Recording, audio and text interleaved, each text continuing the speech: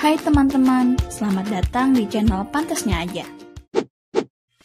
So, kali ini Pantasnya Aja akan membahas 7 momen lucu Ocobot ya. Yaudah teman-teman, sebelum kita mulai video ini jangan lupa untuk klik tombol subscribe di bawah ya untuk membangun channel kecil ini agar besar seperti channel-channel tetangga. Oke, ini dia videonya. TV boleh je. Hmm, TV mana? Hmm, tak ingatlah pula.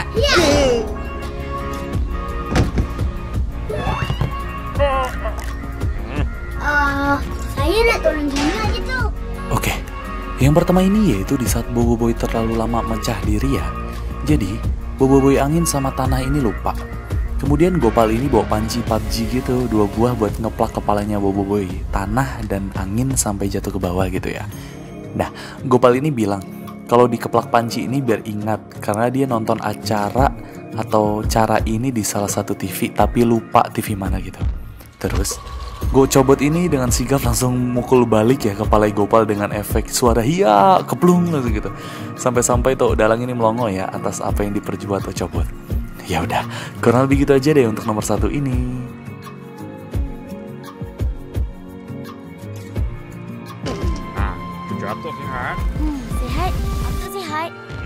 Aduh. Sakit. Lah. Eh? Susah. Terbang. Nah, yang kedua ini ceritanya Bobo Boy kembali lagi ya ke Pulau Rintis pada awal musim 2. Dan dia ini kangen dengan Tok Abah. Alhasil, Bobo Boy ini berpelukan sama Tok Abah ya. Nah, tahu-taunya ada coba di tengah ya sambil bilang, Aduh, duh, duh, sakit, sempit lah, susah nafas. Dan kemudian Bobo Boy ini ngomong hehehe, terbaik kayak gitu. Ya udah, kurang lebih gitu aja deh untuk nomor 2 ini. Itu coba kesakitan tapi lucu gitu. Atuk beli ni. Beli? Mana ada jual benda ni?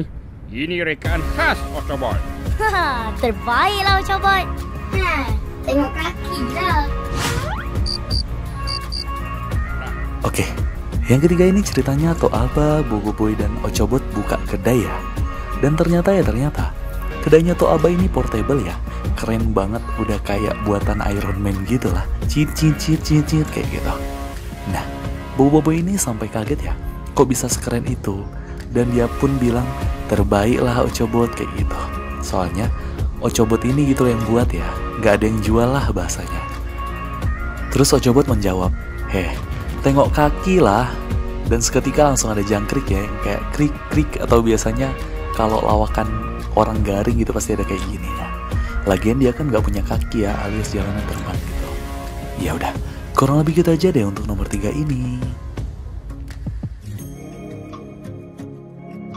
Kuat. Hmm, kalau tu pun tak berjaya, kita kena guna jalan terakhir. Kuasa baru. Kita menyerahkan aja lah. Oh, Nah, yang keempat ini ceritanya Bobo Boy, Feng, dan Adudu sedang dilanda kekalahan ya, karena Ijojo sangatlah kuat gitu. Dan mereka ini berada di markasnya Adudu. Kemudian, Feng dan Bobo Boy ini ribut, gimana cara kita menyelamatkan teman-teman kita ya yang sedang ditawan oleh Ijojo. Akhirnya, Ochobot ini punya ide.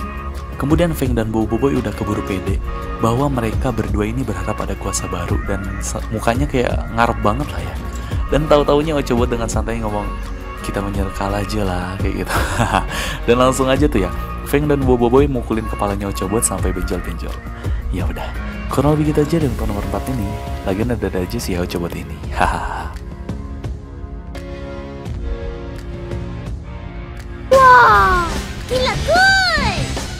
itulah. Kau tak percaya tadi. Yeay, kalau kata Bobo Boy.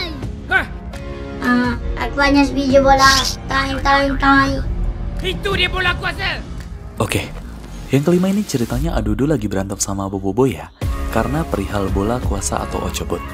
Kemudian, Ocobot ini lepas dari penyamarannya dan mendukung Bobo Boy. Seketika itu Adudu langsung menyuruh Prop untuk menangkapnya gitu ya. Dan lucunya oh, Ocobot ini langsung toing-toing, aku hanyalah sebuah bola, kayak gitu. Dan berubah lagi ya menjadi bola. Lagi ada-ada aja sih oh, Ocobot pakai ngelepas penyemarannya gitu. Jadi ketahuan deh ya. Ya udah, kurang lebih kita aja deh untuk nomor 5 ini.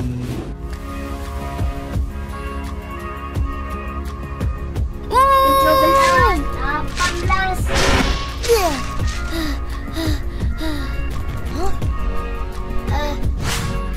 Kau sumbat biskut Yaya dalam mulut aku. Aku nak kerja kau je. Mari sini kau. Nah, yang keenam ini ceritanya Ocobot sedang membangunkan Bobo Boy ya dari tidurnya. Dan dia ini memasukkan biskuit Yaya ke mulutnya Bobo Boy sampai 18 biji gitu. Alhasil, Bobo Boy ini mengalami mimpi buruk yaitu diserang biskuit Yaya ya sampai-sampai dia bangun gitu. Ocobot ada-ada aja ya emang nih alien atau eh, Porsfera maksudnya. Kemudian Bobo Boy ini nanya, Kenapa kau sumbat biskuit Yaya ke dalam mulutku? Hah? Kayak gitu.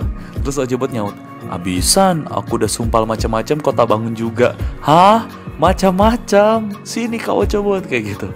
Dah tuh, aku udah sumpah macam-macam. Kau tak bangun juga. Ma macam, macam-macam. Apa lagi yang kau sumpah dalam mulut aku? Ha? Eh, ada apa? Lepas malam dengan Taya je. Apa? Lagi nih bocah bener-bener dah. Maksudnya Power Sfera ini ada-ada aja ya. Harusnya kan dikasih minyak kayu putih atau apa gitu ke hidungnya ya biar bangun kayak orang Indonesia gitu ya. Ya udah, kurang lebih gitu aja deh untuk nomor 6 ini.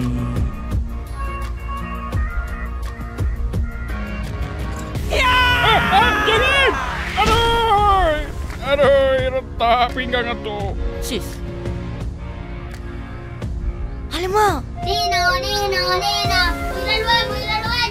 Nino, Nino. Oke, yang terakhir ini ceritanya tim Bobo Boy lagi lawan tim Feng ya untuk tanding bola gitu.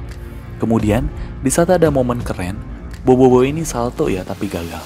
Kemudian diterusin sama Toaba nih sampai gol. Akan tetapi, Toaba ini kan udah tua ya, terus dia encok deh, langsung kretek-kretek ah kayak gitu. Tapi Bobo Boy, Iwan dan Gopal ini malah dibantu Aba ya karena seneng.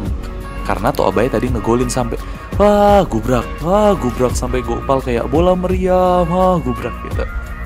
Alhasil makin parah tuh ya encoknya.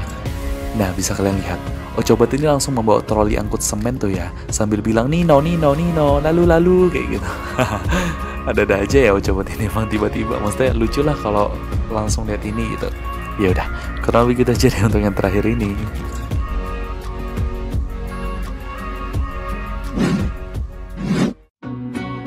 itu dia Kira-kira 7 momen lucu Ocobot Gimana menurut kalian? Porsfera ini bisa ngelawak juga ya? Ya udah, kurang lebih gitu aja deh ya.